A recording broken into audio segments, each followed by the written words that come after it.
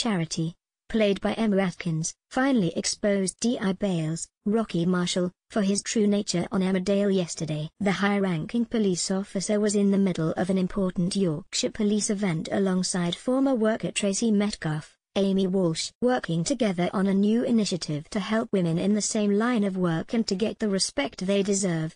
They were praised by the aunts until Charity burst into the room with an axe to grind. Instantly panicking, D.I. Bails attempted to carry on his speech but Charity couldn't hold back any longer and unleashed decades of rage at her former abuser.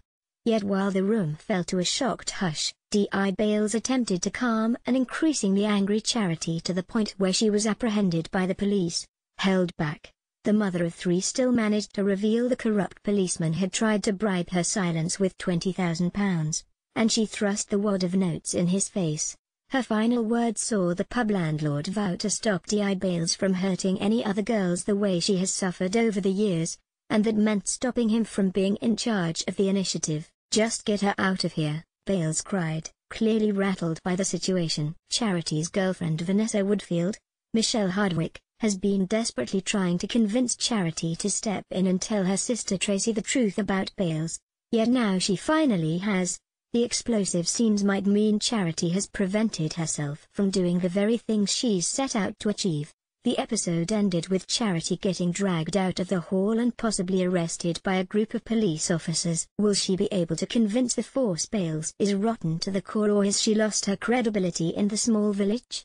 Earlier, the final straw for Charity had been when Bails cornered her round the side of the Woolpack pub. Still proving he could exercise control over the character, Bails came close and whispered in her face. You remember how it was when I'm not nice, he warned. Charity appeared to have flashed back to her 14-year-old self as Bails continued, I become DCI you go back to your dump of a life so you stay clear out of my way and I'll stay out of yours.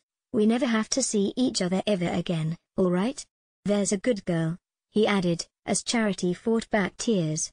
Now that the truth is out, how will Bails manage to convince his colleagues Charity's words aren't the truth? Will she succeed in bringing him down? Emmerdale continues tomorrow at 7 p.m. on